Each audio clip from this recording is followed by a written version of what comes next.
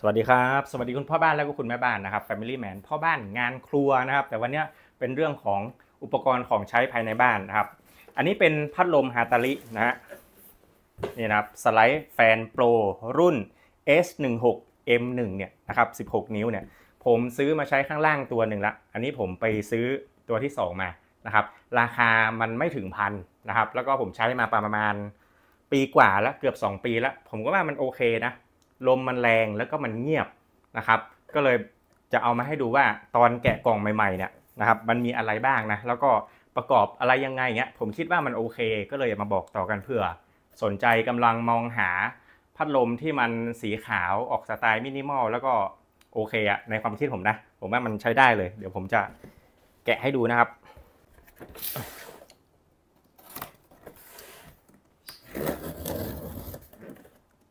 นนี้จะเป็นใบพัด 16 นิ้วนะครับ นี่ครับ อ๋อเขาแยกมาอย่างนี้เลยนะ นี่ อันนี้คือตะแกรงอันนี้คือฐานปึ๊บอันนี้คือตัวมอเตอร์แล้วก็ ตัวพัดลมนะครับ ข้างในนี่ไม่มีอะไรแล้วนะ รุ่นนี้ไม่ได้มีรีโมทนะ ก็คือแบบ รรมดาเลยนะครับ เขาก็จะใส่ถุงมาอย่างนี้นะโอเคเนาะเดี๋ยวเราจะเอาพวกอันนี้ใส่กล่องไว้ก่อนนะ ไม่เกี่ยวห่อทุกชิ้นนะห่อห่อพลาสติกทุกชิ้นนะ คือที่ต้องหามาใช้เนี่ยคืออันเนี้ยจะเอาไว้ใช้ในห้องนอนนะครับ เพราะว่ารู้สึกว่ามันรุด มันร้อนทุกฤดูเลยเนาะในกรุงเทพเนี่ยอันนี้ใบพัดนะครับ ใบพัด 16 นิ้ว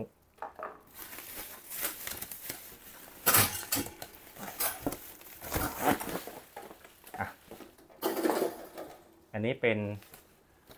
คู่มือนะครับ แล้วก็ใบรับประกันสินค้านะ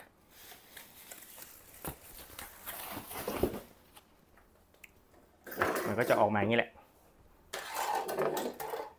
นี่คือตะแกรงนะครับอันนี้คือฐานมัน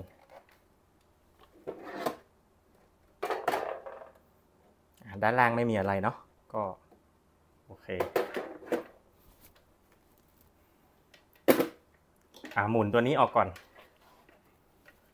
ตัวนี้มันต้องใส่ใบพัดก่อนนะครับ หมุนตัวนี้มันจะไม่เหมือนเขา มันจะหมุนย้อนสอนคลายออกมันจะเป็น หมุนตามเข็มนาฬิกาอืมมันจะไม่เหมือนตัวอื่นตัวอื่นน่าจะเนี่ยหมุนทวนเข็มมันก็จะออกนี่นะครับ เดี๋ยวเราใส่ฐานมันก่อน อันนี้เป็นฐานมันใช่ไหมอันนี้เป็นสายไฟนะครับ เอาสายไฟลอดตรงนี้ก่อน ลอดรูนี่นะ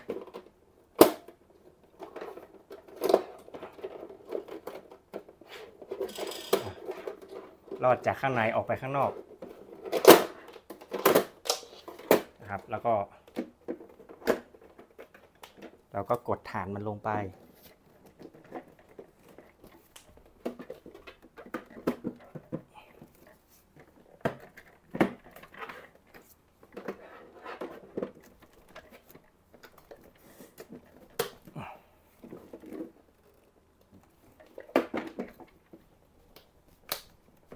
มันจะดังแก๊กแก๊กอะครับ ก็คือให้มันแน่น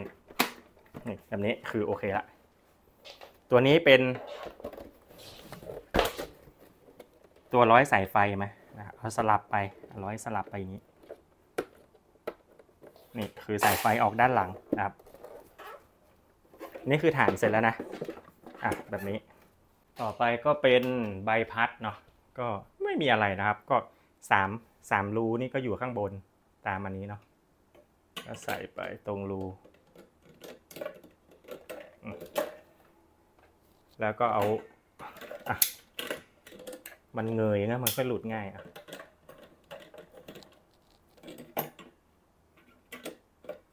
แล้วก็เอาแหวนนี่มาหมุนนะครับ อันนี้ก็หมุน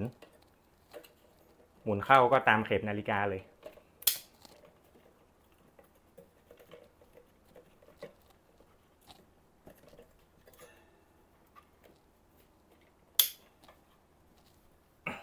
มุนแน่นๆเลยนะครับ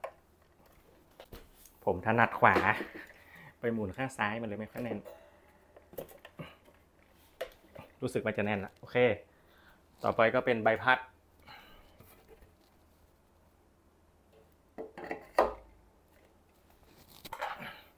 แล้วก็หมุนตัวนี้เข้า อ่า ตัวนี้หมุนตามเข็ม อ่า หมุนทวนเข็มนาฬิกามันจะเป็นหมุนเข้า โอเค ได้ละามันนะครับ ก็เอาตัวอักษรตรงเขามีขีดบอกไว้ข้างบนเนี่ยมันจะได้เซนเตอร์ที่สุด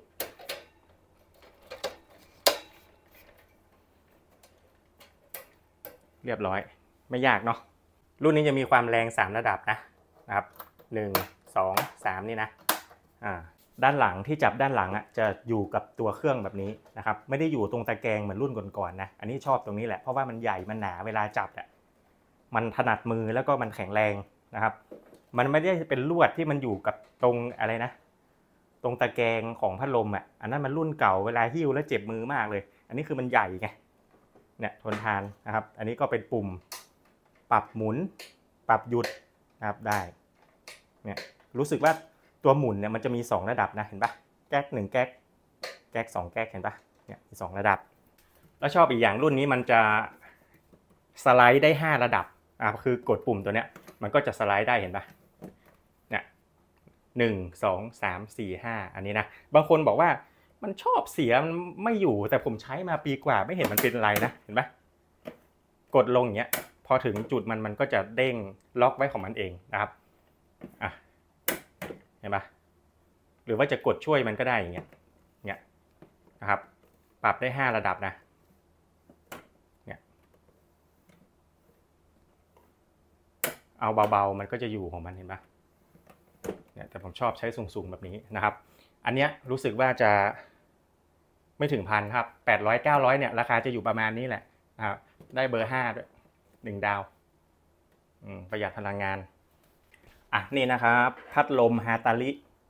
รุ่น S16M1 สีขาวนะครับ ก็เป็นพัดลมสไตล์มินิมอลเนาะนะผมลองใช้มาล้วปีกว่าถึงบอกได้ว่ามันโอเคนะครับ เสียงมันเงียบลมมันแรงนะฮะถ้าใครสนใจก็ลองดูตรงลิงก์ได้เลยครับ ขอบคุณนะครับ สวัสดีครับ